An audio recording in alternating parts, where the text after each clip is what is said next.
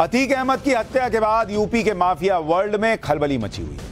Banda jail में बंद, mafia Mukhtar Ansari की तो रातों की नींद उड़ गई। उसका हलक सूख गया है। बांदा जेल के सोर्सेज बता रहे मुख्तार के बारे में। जब से अतीक की मौत की खबर मिली है, उसके बाद से मुख्तार अंसारी बेचैन होकर अपनी बैरक में घूमता रहता है। मुख्तार अंसारी ठीक से दो वक्त का खाना भी नहीं खा पा रहा इतना परेशान चल रहा है। मुख्तार अंसारी इतना डरा हुआ है कि वो जेल में अपनी बैरक में ही रहता है, किसी से बात तक नहीं करता है। सूत्रों के मुताबिक जेल में तैनात पुलिसकर्मियों से भी उसका भरोसा उठ चुका है। बहुत ज़्यादा ज़रूरी काम के लिए मुख्तार अंसारी बॉडी पर जो कैमरे पहने हुए सुरक्षा कर्मी होते हैं, उनसे ही बात करता है, उनको ही कहता है, बाकी से तो बात तक नहीं करता। सूत्रों के मुताबिक मुख्तार ने जेल प्रशासन से कहकर अपनी हाई सिक्योरिटी सेल को और भी छोटा करवा लिया है। मुख्तार अंसारी को डर है कि पेशी के दौरान उसके साथ भी अतीक जैसी घटना ना हो जाए। इसलिए उसने वीडियो कॉन्फ्रेंसिंग के ज़रिए ही पेशी की गुहार लगाई इसके लिए भी वो जेल के अंदर कड़े सुरक्षा घेरे में कॉन्फ्रेंस रूम तक जाता है। मतलब उसको इतना धक धक्की हो गया है कि बाहर तो ना ही निकलूं, कॉन्फ्रेंसिंग, वीडियो कॉन्फ्रेंसिंग के लिए जिस रूम में जाना है, उसमें भी सोर्सेस कह रहे हैं कि डरा डरा जाता है।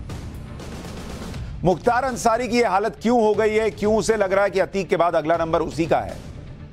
इसकी वजह है मुख्तार का आपराधिक इतिहास, जिसका हिसाब अब अदालतों ने करना शुरू कर दिया है। 29 अप्रैल को गाजीपुर के एमपी एमएलए कोर्ट में गैंगस्टर एक्ट के केस में लेकर फैसला आया।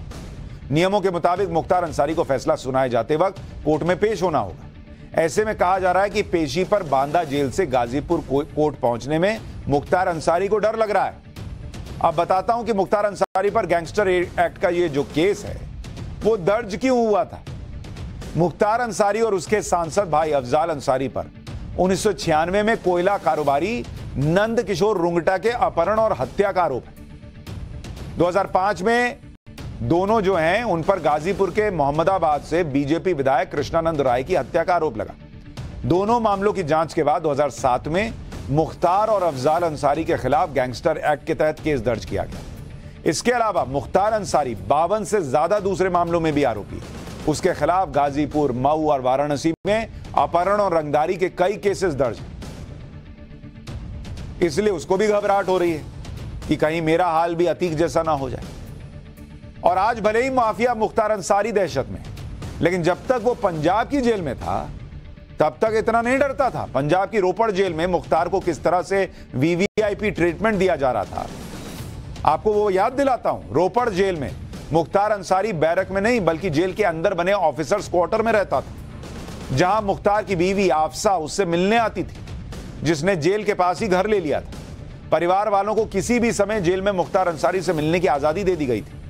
आरोप है कि जेल में मुख्तार के मददगारों के लिए 25 कैदियों के लिए बने सेल का इंतज़ाम किया गया था कि वो इसका ध्यान रखें। साल 2019 से 2021 में जिस दौरान मुख्तार अंसारी को रोपड़ जेल में वीवीआईपी ट्रीटमेंट दिए जाने के आरोप लगे उस वक्त पंजाब में कांग्रेस की सरकार वीवीआईपी ट्रीटमेंट के लिए मुख्तार को पंजाब की जेल में कैसे पहुँचाया गया, उसकी भी कहानी याद दिलाता हूँ। दरअसल मुख्तार अंसारी पर जनवरी 2019 में पंजाब के मोहाली में एक बिल्डर से 10 करोड़ की रंगदारी मांगने का आरोप लगा। इसके बाद पंजाब पुलिस प्रोडक्शन वारंट पर मुख्तार को मोहाली लेकर आई। 24 जनवरी 2019 को कोर्ट में पेश कर उसे रोपड़ जेल भेज दिया गया। इसके बाद करीब दो साल, तीन महीने तक मुख्तार को पंजाब की जेल में रखा गया। आरोप है कि इस दौरान जानबूझकर उसका चालान तक पेश नहीं किया गया और खुद मुख्तार ने भी जमानत के लिए अर्जी नहीं दी। इतना ही नहीं, इस दौरान यूपी सरकार ने 26 बार प्रोडक्शन वारंट निकाले। मतलब यहाँ से योगी सरकार कहती रही कि लाओ इसको। अब वहाँ से आ ही नहीं रहा है। उसको पंजाब से यूपी भेजा ही नहीं गया। आखिरकार सुप्रीम कोर्ट के आदेश पर मुख्तार को अप्रैल 2021 में यूपी पुलिस पंजाब से ले गई। और बांदा जेल पहुँचने के बाद से मुख्तार अंसारी के अच्छे दिन लद गए। एक तरफ़ अतीक अशरफ शूटआउट के बाद मुख्तार की नींद उड़ गई। दूसरी तरफ़ जाँच एजेंसियों ने उसकी बेनामी संपत्तियों पर शिकंजा कसना शुरू कर दिया। जो मैं आपको कह रहा था ना कि जड़ें इतनी फैली हैं, एक को काटिएगा और सोचिएगा माफिया राज का पेड़ गिरेगा यह नहीं होगा। तो योगी आदित्यनाथ और नरेंद्र मोदी सरकार भी मिलकर पूरा पेड़ गिराने की तैयारी कर रहे हैं। और इसके लिए income tax department operation panther launch कर चुका है। इस ऑपरेशन के तहत अब तक मुख्तार की 125 करोड़ से ज़्यादा की 11 बेनामी संपत्तियों का पता लग चुका है। यह प्रॉपर्टी मुख्तार अंसारी के रिश्तेदारों के नाम पर खरीदी गई। जल्दी ही इनकम टैक्स विभाग इन बेनामी संपत्तियों को जब्त करने की कार्रवाई शुरू करे। खबर है कि बेनामी प्रॉपर्टी के केस में कोर्ट से इजाज़त मिलने के बाद मुख्तार अंसारी से पूछताछ की भी संभावना है। एक तरफ़ इनकम टैक्स विभाग मुख्तार पर शिकंजा कस रहा है तो दूसरी तरफ़ योगी सरकार अब तक मुख्तार की साढ़े चार सौ करोड़ से ज़्यादा की अवैध संपत्ति पर बुलडोजर चला चुकी। मतलब एक तरफ़ योगी जी, दूसरी तरफ़ मोदी जी। सारी अवैध संपत्तियों पर या तो बुलडोजर चल रहा है या इनकम टैक्स का कटाई छटाई चल रही पंजाब के रोपड़ जेल से सुप्रीम कोर्ट के दखल के बाद वापस बांदा जेल पहुँचने पर मुख्तार ने जेल से ही अपने गैंग को ऑपरेट करने की कोशिश की थी। लेकिन योगी सरकार की सख्ती की वजह से उसकी दाल नहीं गल पाई।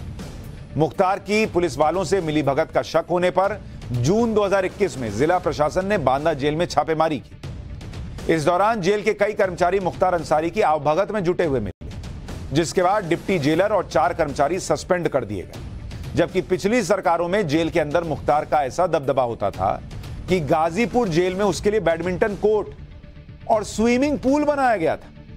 यूपी के डीजीपी रहे ब्रिजलाल के मुताबिक, उस वक्त मुख्तार जैसे माफिया का ऐसा जलवा था कि डीएम तक उसके साथ बैडमिंटन खेलते थे।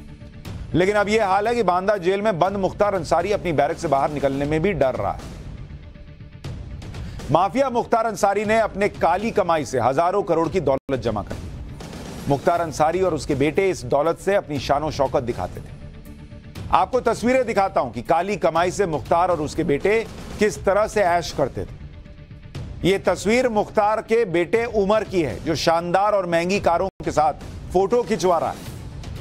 इनमें मर्सिडीज है, फोर्ड एंडेवर जैसी गाड़ियाँ हैं। खास बात यह है कि इन सभी कारों का नंबर सात सौ छियासी पर खत्म होता है। सात सौ छियासी नंबर वाली नंबर प्लेट आसानी से नहीं मिलती, इसकी बोली लगती है जो लाखों रुपए में जाती। है लेकिन मुख्तार के पास कौन से पैसे की कमी? दबंग गई अलग तो नंबर आसानी से मिल जाता था उसको। और उसके लड़के की आप फ़ोटो देख रहे हैं, बंदूक लेके फ़ोटो चल मतलब अलग ही लोगों का रोला और खेल चल रहा था।